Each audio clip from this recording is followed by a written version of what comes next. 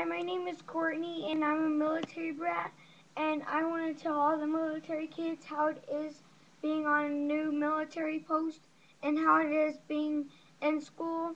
Well, the school, you get to go to a new, brand new school, and you get new teachers, and you get to meet new classmates, and you get a new house that has a lot of stuff in it, and um, here is my sister.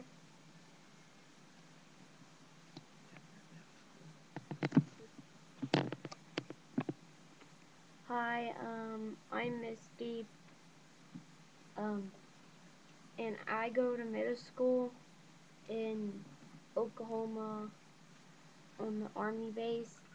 And if you go to middle school, I think you'll like it because you get you get to choose all the food the food you want, and you do have to pay for it unless it's free for you. And um, there's other schools for all ages and of kids, and Tonight you like being a military brat. I like being a military brat, and um, new people. because I like moving and meeting new people at um schools and um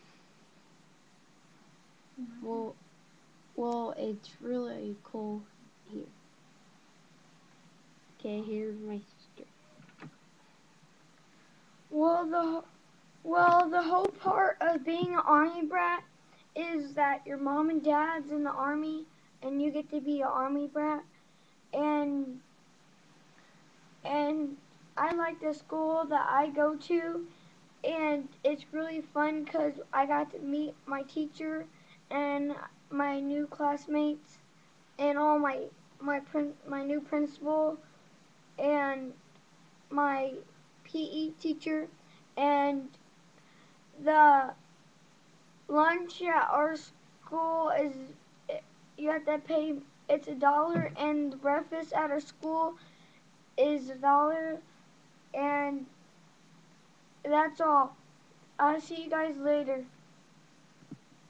Bye.